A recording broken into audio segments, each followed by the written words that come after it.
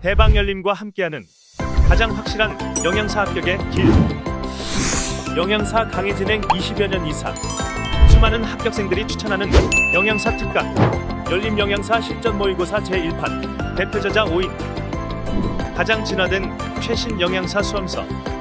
유사상호를 주의하세요. 대방열림. 안녕하세요. 만나서 반갑습니다. 여러분들과 앞으로 어, 모의고사를 진행해 나갈 김지연입니다. 자, 우리 그 영양사 모의고사 문제지 한번 다 풀어보셨을 거예요. 그래서 여러분들 오늘 이제 수업은 어떻게 진행이 되냐면요. 어, 1교시에 해당하는 과목 먼저 하고, 그 다음에 이제 2교시에 해당하는 과목을 하는데요. 그래서 영, 생화학, 생리학 먼저 어, 묶어서 하고, 그 다음에 이제 어, 2교시에 해당하는 식품 위생을 진행을 할 건데요. 자, 그래서 먼저 우리 이제 생화학, 생리학 1회부터 부터 하나씩 나갈 텐데요. 그 나가기 전에 오늘 나누어 드린 참고 자료 프린트가 있어요. 그러니까 우리가 이게 참고 자료 프린트도 활용을 하고 여러분들이 이 책에 있는 내용도 같이 활용해서 공부하시면 좋을 것 같은데요. 먼저 수업을 본격적으로 시작하기 전에 우리 생화학, 생리학 거기 출제 경량이라고 나와 있죠. 자, 거기 보면 음, 생화학 먼저 출제 경량 한번 봐주세요. 어, 우리 이제 벌써 이제 세 번 정도 어, 나와 그 시험 문제가 공개됐기 때문에 어느 정도 근거 자료들이 좀 있어요. 그래서 생화학은 열네 문제 플러스 알파 정도라고 생각하시면 돼요. 그 외에 뭐 한 문제 내지 세 문제가 더 나올 수도 있다라고 생각하시면 되겠는데요.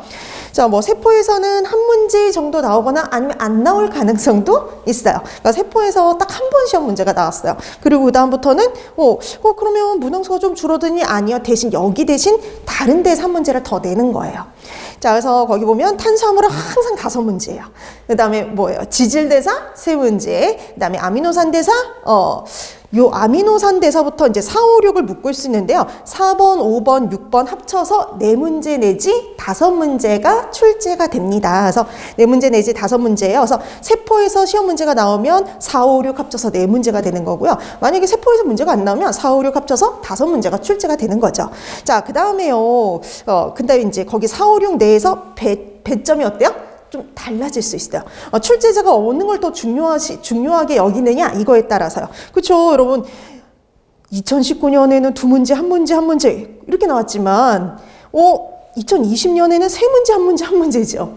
근데 2021년에는 아예 아미노산 단백질 대사에서 네 문제 내고 어, 핵산 대사에서 한 문제 내고 효소에서 아예 안 나오기도 해요. 이런 식으로 배점은 그 내에서 달라질 수는 있는데 항상 문항수는 어때요? 네 문제 내지 다섯 문제 가량이라고 생각하시면 됩니다. 자, 그다음에 마지막 일곱 번째는요. 비타민. 어, 요 비타민 부분인데 영양학의 비타민 부분인데 대사 관련과 대사와 관련된 비타민들이 좀 나올 때가 있어요. 그래서 조효소로서 작용하는 비타민의 그 작용과 관련된 그 내용의 문제들이라 고 보시면 될 것 같습니다. 자, 그 다음에 생리학인데요. 이 생리학도 참, 어, 2020년까지 이제 나왔을 때까지만 해도, 아, 이제 골고루 해서 보통, 골고루 해서 다섯 문제 내지 한 여섯 문제 출제되겠구나, 이렇게 생각을 했는데, 2021년에 정말 뜬금없이 딸랑 두 문제가 출제가 돼서 깜짝 놀랐었거든요. 그래서 어 그래서 2019년, 2020년에는 이제 골고루 해서 음, 기본적으로 소화기 계산 두 문제, 그다음에 심장, 비뇨, 혈액 이런 데서 한 문제씩 이렇게 쭉 이렇게 출제가 됐었다라고 보시면 돼요. 근데 작년에는 되게 특이하게 딱 둘 문제, 딸랑 두 문제가 출제돼서 어, 생리학은 아마 이제 올해 또 이렇게 시험 문제가 출제가 돼 봐야지 좀 더 확실한 걸 알 수가 있는데 그냥 보통 평균적으로 소화기계 두 문제, 나머지는 뭐 한 문제씩 나올 가능성이 있다. 이 정도 생각하고 공부를 해두시면 될 것 같아요. 그래서 이제 생리학과 같은 경우, 생리학 같은 경우도 되게 문제가 어렵게가 아니라 제일 기본적인 거 위주로 나가니까 여러분들이 뭐 우리 이론 시간에 공부했던 거 어, 그 한번 읽어보고 문제 위주로 해서 정리해 두시면 될 것 같고요. 그 다음에 오늘 여러분 책 그 실전 모의고사 앞에 정리되어 있는 거 보셨죠? 어, 핵심 이론들이 다 정리가 되어 있어요. 그래서 어, 근데 여기 딱 빠진 게 생리학이에요. 그래서 생리학 빼고 생화학하고 식품 위생이 내용이 정리가 되어 있는데요. 정말 기본적으로 반드시 알아야 될 내용을 반, 어, 그 넣어놨기 때문에 되도록이면 거기 있는 내용은 완벽하게 공부를 하고 그다음에 어, 시험에 임하시면 좋을 것 같아요. 어, 그러면 웬, 그 시험 문제 최소한 한 문제 한 번 이상씩 나온 것들을 다 집어 넣어놨기 때문에 어, 그 내용들은 충분히 이제 숙지를 하고 공부해 두시면 좋을 것 같습니다. 있습니다. 자, 그럼 이제 우리가 1회부터 시작을 하는데요. 그래서 1회, 어, 1교시에 있는 생화학, 생리학 요거부터 먼저 보도록 할게요. 여러분 책 85페이지예요. 자, 뒤에 설명도 되게 잘 나와 있어요. 그렇죠? 설명도 잘 나와 있지만 조금 이제 거기 있는 내용도 이제 추가하고 그렇게 해서 조금 더 설명을 해드리는데요. 그래서 앞 이렇게 책을 왔다 갔다 하기가 너무 불편할 것 같아서 프린트물을 나눠드렸어요. 자, 그래서 프린트물 보면서 같이 보도록 할게요. 자, 85페이지 1번이 바로 생화학 문제입니다. 세포에서 간혹 시험 문제가 출제가 된다라고 했죠. 그래서 보통 이 세포에서 시험 문제가 나올 때 주로 나오는 게 바로 세포 내 소기관들의 역할과 관련된 문제예요. 자, 그래서 여러분들이 여기서 반드시 알아둬야 될 거는 세포 내 소기관과 이 세포 내 소기관이 하는 기능 역할을 잘 기억해 두시면 돼요. 그러니까 여러분 뭐 어디 시험 문제 되게 어려운 문제가 아니라 가장 기본이 되는 명칭과 기능 요 연결하는 문제가 주로 출제된다라고 생각하시면 되죠. 그래서 그 1번 문제도 딱 그거예요. 인체의 간세포에서 ATP를 생성하는 세포 내 소 기관은 그랬네요. 자, ATP를 생성한다, 에너지를 만들어내는 기관이다라고 하면 세포 내 소기관은 미토콘드리아가 되죠. 이 미토콘드리아에서 뭘 열심히 돌려요? TCA 회로를 돌리면서 열심히 에너지를 생성을 하죠. TCA 그다음에 어, 전자전달계 같은 것들을 돌리면서 에너지를 만들어냅니다. 자, 그래서 1번의 답 4번이 되죠. 근데 이 미토콘드리아에서 에너지 ATP를 생성하잖아요. 근데 이거를 또 다르게 표현할 수 있었던 것도 아시죠? 우리가 에너지를 만들어내는 곳이다. 그래서 에너지 발전소라고 얘기하기도 하고 그 다음에 세포 내 호흡을 통해서 에너지를 만들어내기 때문에 일명 세포 내 호흡기관이라고 얘기하기도 하죠. 오늘 나눠드렸던 프린트에 다 있어요. 자, 그래서 거기 보면서 알아두시면 됩니다. 그래서 세포 내 호흡기관 내지는 에너지 발전소 이렇게 표현을 해도 미토콘드리아를 의미하는 거다라는 정도 알아두고 넘어가시면 되죠. 자, 그래서 1번의 답은 뭐 4번인데요. 이러면 거기 소포치 보세요. 자, 1번에 소포체 나와 있는데 우리 그 프린트에도 소포체 있죠. 여러분 소포체는 두 가지가 있죠. 조면하고 활면. 자, 여러분 조면은 거칠거칠이죠. 그래서 우리가 뭔가 막 붙어 있으면 조면. 그다음에 아무것도 붙어 있지 않으면 활면이요. 뭐가 붙어 있어요? 리보솜이었죠. 리보솜이 붙어 있으면 조면 소포체, 리보솜이 없으면 우리가 활면이라고 했었죠. 그래서 리보솜이 이렇게 붙어 있으면 조면이고요. 그 다음에 없으면 활면이다 라고 기억을 해두시면 됩니다. 자, 그럼 조면 소포체는 리보솜이 붙어 있었으니까 단백질 합성에 관여를 했고요. 활면 소포체는 리보솜 없죠. 그래서 대신 뭘 만들어내느냐? 지질이요. 지질 합성에 관여했죠. 지질 합성 그리고 칼슘을 저장하는 기능을 했었어요. 자, 그다음에 여러분 리보솜하고 리소솜하고 이름 잘 구분해 두셔야죠. 리보솜 하면 단백질 합성의 장소가 되는 거고요. 리소솜 하면은요 분해 요소들이 있어요. 그래서 분해 요소들이 존재하기 때문에 세포 내 일명 소화기관이라고 얘기를 한다 그랬죠. 그래서 더 이상 필요로 하지 않는 물질들을 소화시키는 역할을 담당을 해요. 그래서 여러분 이거 기억나세요? 그래서 특히 어디에 많았냐면 백혈구예요. 백혈구 어, 세포 내에 많이 존재를 했었죠. 자, 그다음에 골지체 일명 어, 세포 내 저장고, 창고의 역할을 한다라고 했었죠. 세포 내에서 합성된 물질을 여기서 가공하고 포장을 해서 내보내는 역할을 해요. 그러니까 우리 창고에 저장했다가 내보내는 거와 똑같은 그런 역할을 한다라고 생각하시면 됩니다. 자, 이렇게 해서 세포 내 소기관은 명칭과 기능 요거 잘 연결해 두시면 될 것 같아요. 자, 그다음에 7번이에요. 여러분 이제 7번부터 11번까지가 딱 탄수화물 대사와 관련된 문제가 출제가 됩니다. 자, 그럼 7번 보도록 할까요? 자, 현기적 계단 과정에서 조효소로서 작용하는 비타민 그랬네요. 자, 그래서 여러분 이 시험 문제, 이 생화학 시험 문제에 어 조효소로서 작용하는 비타민을 물어보는 문제가 되게 자주 출제가 돼요. 그래서 조효소로서 누가 작용하는지를 꼭 파악해 두실 필요가 있어요. 조효소가 나오는 경우. 자, 오늘 나눠드렸던 프린트 7페이지 잠깐 보시면 뭐 되게 중요한 건 아닌데 한 분자의 포도당이 피로부산을 거쳐서 두 분자의 피로부산을 거쳐 거쳐서 두 가지 기능이 있는데요. 두 가지 길이 있는데 하나는 TCA를 돌아서 에너지를 내는 거. 그다음에 또 하나는 두 분자의 젖산까지 가는 거. 우리가 보통 이렇게 두 분자의 젖산까지 가는 경우를 현기적 배당 과정 이렇게 얘기를 해요. 산소가 공급이 안 돼요. 산소가 공급이 되지 않을 때 마지막 최종 생성물은 뭐냐면 두 분자의 젖산입니다. 자, 근데 호기적 산소가 공급이 되면은요, TCA, TCA 사이클을 돌아서 에너지를 낼 수가 있죠. 호기적 해당이라고 하면은 어, TCA로 도입되는 거 이렇게 생각하시면 되는 거죠. 자, 그러면 어, 요거네요. 이렇게 두 번째의 젖성까지 요 가는 반응에서 조효소로서 작용하는 비타민은 딱 하나밖에 안 나와요. 우리가 이 TCA 쪽으로 가면 조효소로서 작용하는 비타민이 어마어마하게 많았잖아요. 근데 여기는 하나밖에 없어요. 어디밖에 없느냐면 NAD밖에 안 나옵니다. NAD. NAD밖에 나오지를 않아요. 그래서 여러분 이거 구체적으로 거기 나와 있, 써놨는데 한 번째의 포도당이 두 번째의 젖상까지 갈 때 글리세르 알데히드 3인산에서요. 글리세린산 132인산으로 가는 반응이 있었죠. 요 반응이 해당 과정에 있었는데요. 요 반응에서 NAD를 이용을 해서 수소를 붙여서 NAD H가 만들어졌죠. 그래서 이 NADH를 만들기 위해서 누가 반드시 필요했어요? NAD라는 조효소가 반드시 필요했었죠. 이 NAD가 어떤 비타민의 조효소 형태였, 조형태, 조효소 형태였어요? 니아신이었죠, 니아신. 자, 그래서 해당 과정에서요, 조효소로서 작용하는 건 딱 하나, 누구밖에 없냐면 니아신밖에 없습니다. 자, 그래서 7번의 답 3번이 되죠. 자, 그 다음에 8번 볼까요? 혈당이 저하될 때라고 했습니다. 자, 혈당이 저하될 때 아드레날린이 막 수용체에 결합하면 가장 먼저 활성화되어서 활성화되어 2차 전령의 CAMP를 합성하는 요소는 그랬네요. 막 수용체와 결합하면 제일 먼저 활성화되는 거 뭐였을까요? 아데닐산 고리화 효소죠. 답은 5번이 됩니다. 자, 그래서 8번의 답 5번이죠. 자, 8번의 답은 5번인데 오늘 나눠드렸던 프린트 1페이지 잠깐 보시면 자, 혈당이 저하되면은요. 호르몬이 분비돼요. 아드레날린, 우리 아드레날린 다른 말로 뭐라고 돼요? 에피네프린이라고도 하죠. 아드레날린, 에피네프린, 그 다음에 글루카곤 이런 애들이 분비가 되면 막으로 이제 달려가는 거죠. 세포막으로 달려가요. 근데 아드레날린, 글루카곤 애들은요. 등치가 커요. 분자량이 커서 절대 세포 내로 들어올 수가 없어요. 그래서 막에 있는 수용체하고 결합을 합니다. 자, 그럼 막에 있는 수용체와 결합을 하면 제일 먼저 활성화되는 효소가 누구냐? 이렇게도 시험 문제가 나온 적이 있어요. 제일 먼저 활성화되는 효소 찾아라. 아데닐산 고리화 효소. 이렇게 되는 거죠.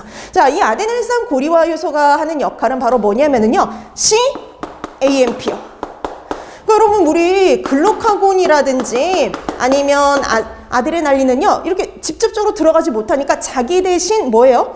전달을 해줄 2차 전령을 만들어내요. 얘네들이 1차 전령이에요 보통.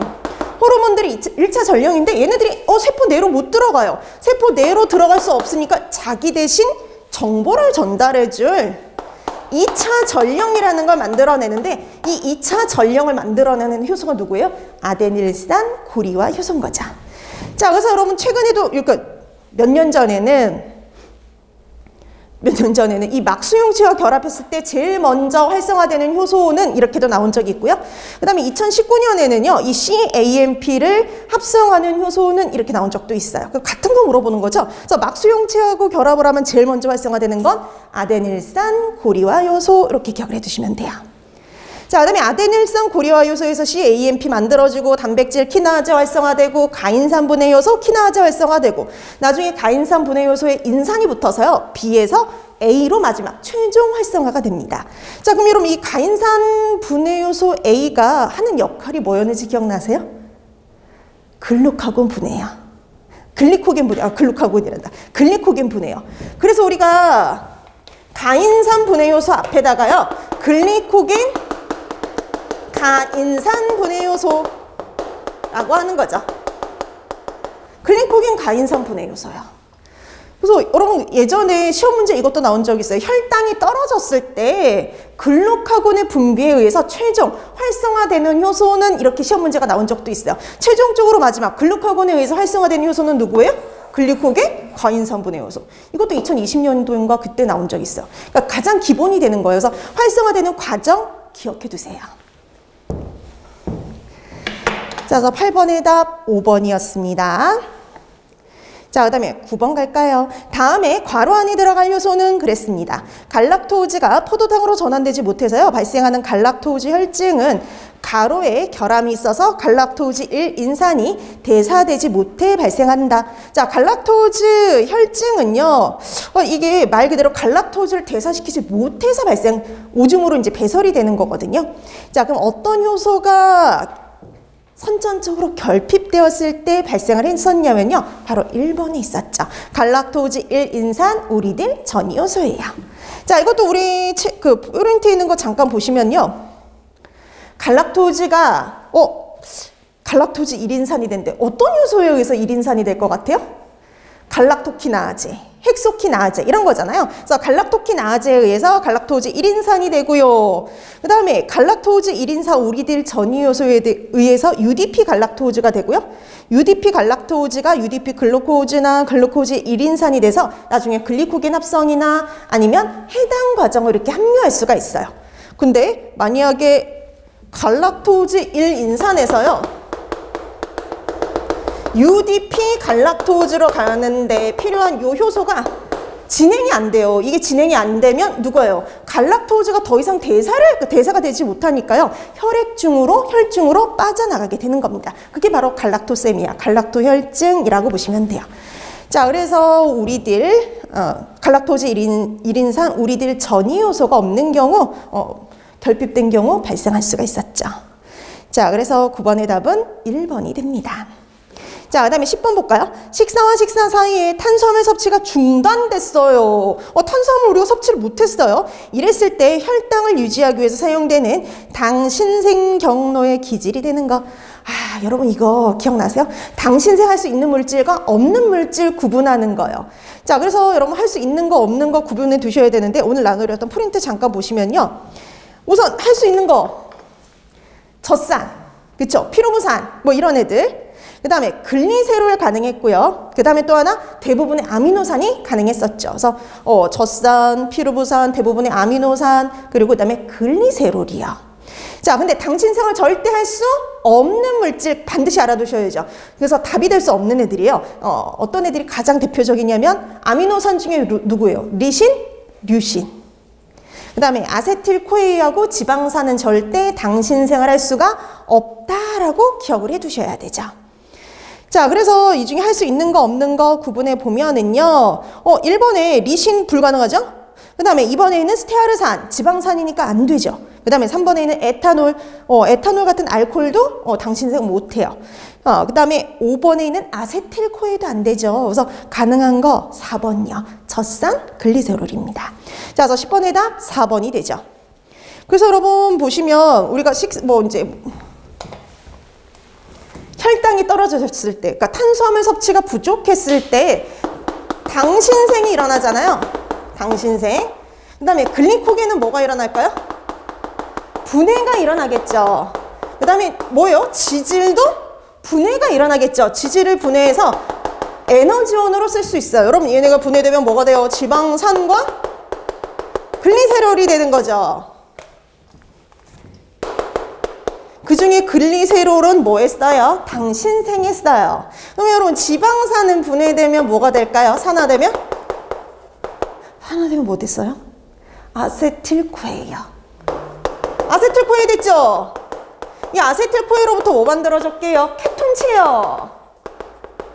간에서 이렇게 아세틸코이가 과잉으로 만들어지게 되면은 필요 없는 애들은요 다 다른 조직에 나눠져요. 근데 절대 아세틸코인은 혈액을 통해서 운반이 될 수가 없죠. 그래서 케톤체의 형태로 만들어서 나눠준다라고 했었죠. 자, 그래서 이렇게 지금 이때는 당이 부족한 상태에선 이런 대사들이 진행이 되어서 지방산으로부터는 절대 당 신생이 일어나지 않고요. 케톤체 생성 쪽으로 가요. 자, 그래서 10번의 답 4번이었어요. 그 다음에 11번. 고당질 식사 후 인슐린 분비로 촉진되는 대사 과정은 여러분 인슐린, 글루카곤 이거 시험 문제 여러 번 출제됐던 거라고 보시면 돼요. 그래서 인슐린과 관련된 건 벌써 여러분 시험 문제 두 번이나 출제가 됐어요.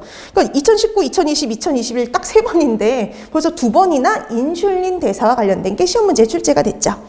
자, 여러분 인슐린과 관련된 거 보시면 여러분 우리 인슐린이 언제 분비가 되냐면 식사 후에 분비가 되죠. 자, 식사 후에 인슐린이 분비가 되면은요. 제일 먼저 오늘 나눠드렸던 프린트 보세요. 순서대로 기억하기예요. 제일 먼저 어, 당을 분해해서 에너지원으로 이용을 하자. 당 산화를 촉진합니다. 그 당 산화가 바로 뭐예요? 해당 과정이요. 자, 그 다음에 당을 쓰고도 에너지원으로 만들고 남았어요. 자, 남으면 그 다음에 이제 우리 뭐로 저장했어요? 글리코겐으로 저장했죠. 그래서 글리코겐 합성을 촉진해요. 자, 그 다음에 글리코겐으로 저장하고도 또 남았어요. 그럼 그 다음부터 뭐예요? 지방, 지방으로 합성이 돼서 축적이 되죠. 자, 그래서 이렇게 지방 합성을 또 촉진합니다. 자, 그 다음에 그 외에 기타 단백질 합성도 촉진이었죠. 그래서 보통 당산화 빼고 다 합성을 촉진해요. 자 이렇게 해서 어, 당을 사용을 해서 애, 그 혈당을 어떻게 해요? 낮춰주는 역할을 하는 게 바로 인슐린의 기능이었죠. 자 그래서 11번의 답은 1번이 됩니다. 그럼 11번의 답은 1번인데 그럼 나머지 보기 보세요. 글리코겐을 분해한다. 포도당 알라닌 회로를 돌린다. 그 다음에 케톤체를 합성한다. 당신생 반응을 한다. 이건 어떨 때 할까요? 당이 부족할 때요. 이건 다 글루카곤과 관련이 있죠. 글루콘이 활성화하는 뭐 대사 과정이라 볼 수 있죠. 자, 그래서 2, 3, 4, 5번은 다 당이 부족한 상황에서 일어나는 대사 과정이라고 보시면 됩니다. 자, 그래서 11번의 답 1번이었어요. 그 다음에 우리 저기 이제 가다가 17번. 그래서 여러분 문제 구성을 잘 보세요. 여러분 그 이게 또 재밌는 게 이렇게 되어 있어요. 탄수화물과 관련된 영양학 내용 나오고 그 다음에 탄수화물 대사 문제 나오고 그 다음에 영양학 지질과 관련된 거 나오고 그 다음에 생화학 지질 대사 나오고 문제가 이렇게 번갈아가면서 나와요. 자 그래서 어 거기 12번부터가 16 12번부터 16번까지가 영양학의 음 지질과 관련된 내용이고요. 그 다음에 17번부터 지질 대사가 시작이 됩니다. 자, 우리 지질 대사 항상 몇 문제 나와요? 세 문제. 자, 17번부터 갑니다. 지방산의 생합성 시 미토콘드리아 내에 존재하는 아세틸 코에를요 세포 질로 운반하는 매개체가 되는 것은 이랬네요. 우리 어 우리 보통 아세틸 코에가 들어있는 장소는 어디냐면요 바로 미토콘드리아죠. 여러분 이 아세틸코인은 절대 밖으로 나올 수가 없어요. 우리 미토콘드리아 막을 아무나 통과할 수 있는 건 아니다 라고 했던 거 기억나시죠? 어, 이 미토콘드리아 막은 아무나 통과할 수가 없어요. 자, 그래서 이 아세틸코에이를요, 이 밖으로 운반해주는 물질이 필요했었죠. 그래서 우리가 셔틀 타잖아요. 한쪽에는 구연산이 있었고요. 한쪽에는 말산이 있었는데 얘는 어떤 셔틀을 탔었냐면 구연산이었죠. 자, 그래서 이 아세틸 코일을 세포질로 운반해주는 거 구연산입니다. 우리 구연산 다른 말로 뭐라고도요? 시트르산이라고도 하죠. 자, 그래서 그 정도는 알고 계셔야죠. 구연산으로 보기가 나올 수도 있고 시트르산으로 보기가 나올 수도 있으니까 두 가지 다 같은 말이구나 라는 정도는 알고 계셔야 돼요. 자, 그래서 17번의 답은 3번인데 여러분 이게 지질 대사와 관련해서 운반체가 되는 거, 매개체가 되는 거는 두 가지를 알아두셔야 돼요. 오늘 나눠드린 프린트 1페이지 17번 문제 보세요. 자, 이거 두 가지 기억해 두셔야 되는데 지질 대사와 관련해서 뭔가를 운반하는 매개체가 되는 거 문제는 둘 중에 하나가 나와요. 하나는 지금처럼 지방산 생합성 시 아세틸코에를 미토콘드리아에서 세포질로 운반해 주는 것 이렇게 하면 뭐였어요? 시트르산이죠. 구연산, 시트르산 이렇게 되는데 만약에 두 번째 같은 경우도 옛날에 나온 적이 있어요. 보세요. 지방산의 베타산화시에 그럼 여러분 지방산이 이번엔 베타산화가 되려면 베타산화가 일어나는 장소가 미토콘드리아니까 이 지방산을 이번에는 지방산을 운반하는 거죠. 지방산을 세포 내로 미토콘드리아 내로 운반을 해야 돼요. 자, 이 지방산을 미토콘드리아 내로 운반해 주는 물질이 있었습니다. 뭐였냐면 네 맞아요. 카르니틴. 그래서 나올 수 있는 문제는 이 두 가지 유형이에요. 자 그래서 지질대사와 관련해서 뭔가를 운반한 매개체를 물어보는 건 이 두 가지 유형밖에 없으니까 이 두 가지 구분해서 알아두시면 됩니다. 자 그래서 뭐 17번의 답 3번이었고요. 그 다음에 18번 가도록 할게요. 자 기아시와 같이 세포 포, 어, 체내 포노당 농도가 낮아졌을 경우 지방산의 산화로 간에서 생성이 증가되는 것 그랬습니다. 어, 우리 아까 이거 했던 거랑 좀 연결이 됐는데 여러분 우리가 어 굶었어요. 이렇게 굶게 되면은 체내 포도당 농도가 너무 낮아지죠. 자, 이런 경우에는 탄수화물 에너지원으로 이용하지 않고 지방을 에너지원으로 이용할 수 있죠. 어? 아, 이거 했던 거 지웠네. 어, 지방을 에너지원으로 이용해요. 그렇죠? 그래서 지방을 지방이 분해되어서 뭐가 되냐면 지방산과 글리세롤이 아까 됐죠. 그 중에 이 글리세롤은 아까 뭐에 쓴다 그랬어요? 당 신생에 이용해요. 절대 안 버려요. 아주 알뜰하게 이용해요. 얘는 당 신생에 이용하고 지방산은 산화되어서 뭐가 만들어지냐면 아세틸 코에. 자, 이 아세틸 코에 과잉의 어, 예, 지방산의 베타 과잉 산화 시에 과잉의 아세틸 코에가 만들어지면 간에서 얘를 쓰지 않고요. 다른 조직에게 넘겨줘요. 자, 근데 다른 조직에 넘겨줄 적엔 아세틸 코에의 형태가 아니라 누구의 형태였어요? 케톤체 형태로 나눠주게 되죠. 자, 그래서 케톤체가 만들어지는 겁니다. 그럼 쉽게 말하면 케톤체 찾아라 이 문제예요. 자, 간에서 이때 생성이 증가하는 거 케톤체. 근데 보기는 케톤체로 되어 있지 않죠? 우리 케톤체의 가장 대표가 되는 거 뭐였을까요? 아세토 아세트산이죠. 자, 그래서 답은 2번이 됩니다.